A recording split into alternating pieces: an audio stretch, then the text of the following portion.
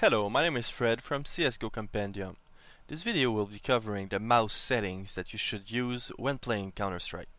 These settings are the ones used by most of the top pros, but consider that mouse settings are personal and the pro setup might just not fit you. If you have searched for information about this on the web, you probably found some forums with people saying, I'm using 611, 500 and 4.5. You have to understand that there are many different sources of settings that will affect your in-game sensitivity. First, you have the Windows settings. Then, you have your driver DPI setting. In this example, I have Razer drivers for my Razer gaming mouse. At last, you have in-game mouse settings. First of all, for the Windows mouse settings, you have to access the Change Mouse Settings window through your control panel. For a quick find, you can enter mouse into the top right search and these results will show up. Then, you have to go to the pointer options tab. The expression 611 Windows Sense means that your Windows mouse speed is at 6 on 11 because there are 11 different speed settings. You also have to make sure that your enhanced pointer precision is unchecked. Next up are your driver DPI settings.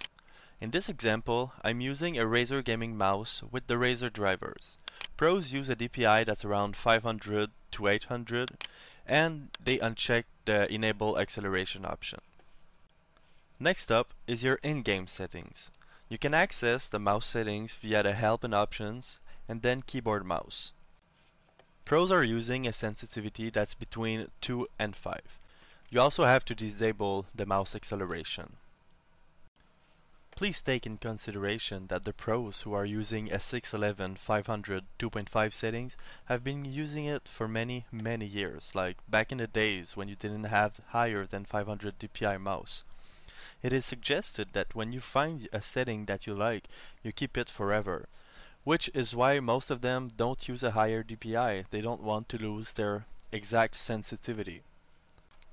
But there is a formula to use to figure out what in-game sense you should use if you want to increase or lower your DPI. The formula is DPI times in-game sense times Windows sensitivity, using this scale for Windows sensitivity. With some very simple algebra, you can figure out what in-game sense to use if you want to increase or lower your DPI. If you're having problems and you need help figuring it out, leave a comment and I will help you. And remember, once you've found a mouse setting that you like, it is strongly suggested that you keep it for eternity.